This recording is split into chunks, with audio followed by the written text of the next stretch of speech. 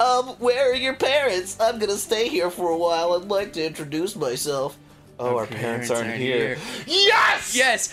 Da, Yes! da, da, da, da, da, da, Oh, I like where this game is going. da, da, da. Touching boobies, seeing Gina's gonna get some lots Our of parents sex. were. And then the next moment, he knows he's like holding a bloody knife, and they're all like, and they're all like twitching on the ground. He's like, "What have I done? What have I done?" "He's a gentleman, a gentleman, a gentleman," which means I'm gentle. Just see him in the corner holding a bloody knife.